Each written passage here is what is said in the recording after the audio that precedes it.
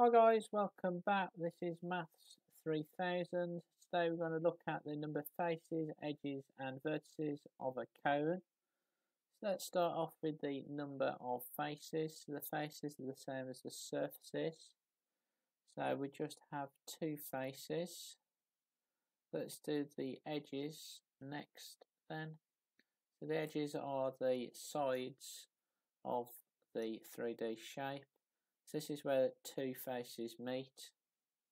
So we only have one edge on our cone.